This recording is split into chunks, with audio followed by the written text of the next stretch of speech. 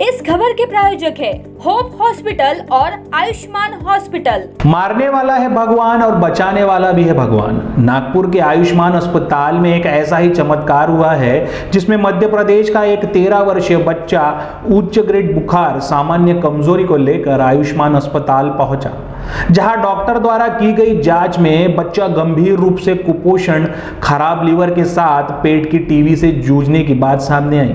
जिसके बाद आहार विशेषज्ञ डॉक्टर रूबी और अतुल राज कोंडावार ने प्रोटीन युक्त मल्टीविटामिन डोज दिया गया, जिसके बाद ही तीन दिनों के भीतर ही डॉक्टर की यह दवाई ऐसा चमत्कार कर गई कि बालक अब पूरी तरह से स्वस्थ दिखाई गया।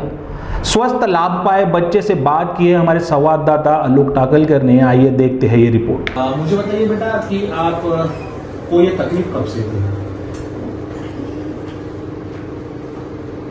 कब से थी बचपन से थी? कितने साल हो गए? आप बताइए सर। दो महीने पहले से। दो महीने पहले से। क्या क्या हुआ था इनको? वो पेट में पानी था पेट यहीं आके अपने हॉस्पिटल में पता चला।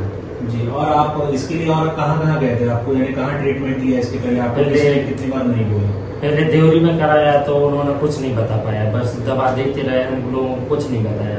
फिर सागर लेके गए तो उनने भी दवा दे दी उनने भी कुछ नहीं बताया। फिर यहाँ इस हॉस्पिटल में आके जाँच कराया उनको तो सोनोग्राफी द्वारा मालूम चला के पेट में पानी।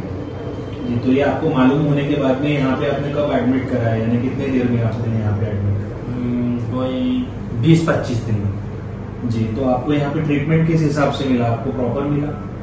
मतलब? यानी बराबर आपको उस हिसाब से मिला कि जाँच जाँच यहाँ हुई वो दवाइयों से यहाँ आराम। आराम लग गया उसको। जी। दवाइयों से आराम लग